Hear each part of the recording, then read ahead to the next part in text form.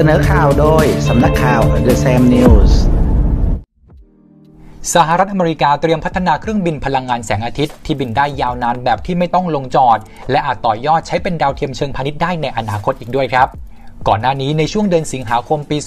2021 ได้มีการพัฒนาเครื่องบินไร้คนขับชื่อว่า Skydroller ซึ่งติดตั้งแผงโซลาร์เซลล์ไว้บนปีกทั้งสองข้าง ทำให้มันสามารถผลิตพลังงานไฟฟ้าให้กับตัวเองได้ โดยทำสถิติบินอยู่บนน่านฟ้าได้ยาวนานกว่า 90 วัน แบบที่ไม่ต้องลงจอดเลยครับ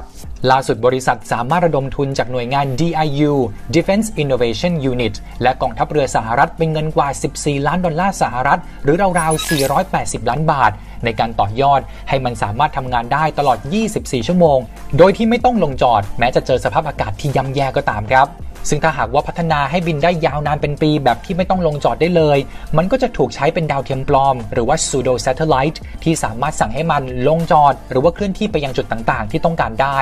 ซึ่งข้อดีก็คือจะไม่กลายเป็นเศษขยะอวกาศที่ถูกทิ้งไว้ เมื่อไม่ใช้งานแล้วเหมือนดาวเทียมทั่วไปครับ สำหรับเครื่องบินแสงอาทิตย์ Skydroller เป็นเครื่องบินไร้คนขับที่ถือกำเนิดขึ้นจากความร่วมมือ ระหว่างกองทัพเรือสหรัฐ และบริษัทการบินและอวกาศของสหรัฐและสเปนในชื่อเดียวกัน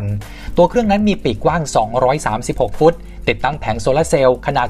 2,900 ตารางฟุตไว้ที่ตัวปีก ผลิตพลังงานไฟฟ้าให้กับตัวเองได้ 2 กิโลวัตต์ และสามารถติดตั้งเรดาร์และกล้องที่หนักรวมกันไม่เกิน 360 กิโลกรัมได้เลยครับ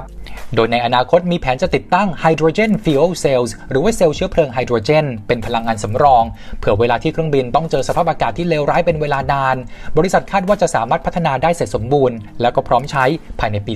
2023 นี้ครับ หากพัฒนาสำเร็จนอกจากจะเกิดประโยชน์ทางการทหาร หรือการเป็นดาวเทียมปลอมแล้ว มันยังสามารถใช้สำหรับการตรวจสอบสภาพพื้นที่ภูมิประเทศต่างๆ ได้ หรือนำมาใช้ในช่วงที่เกิดภัยพิบัติได้อีกด้วยครับ